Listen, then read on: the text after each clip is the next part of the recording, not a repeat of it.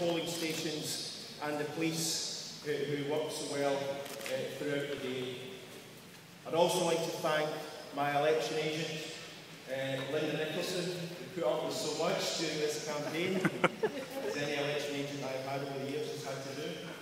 Uh, my campaign coordinator, Alan Dixon, who worked 90, 100 hours a week on this campaign, and of course my wife, Patricia Gibson, who's our support and worked hard throughout. And I'd also thank all the SNP activists who work day in, day out across Cunninghame North for this result, and of course the people of Cunninghame North who once again have kept their faith in me and the Scottish National Party.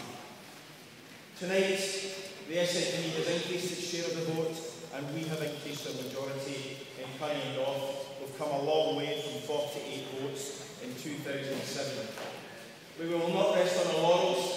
There's a tremendous amount of work still to be done in this constituency and my first priority will be to represent all my constituents and indeed uh, whether they voted for me or whether they did not vote, and indeed those people who did not vote in this election, because we have to reach out the many thousands of people who did not vote in this election.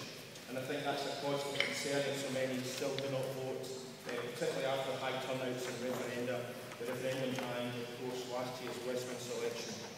As a party, the SNP looks forward once again to taking Scotland forward.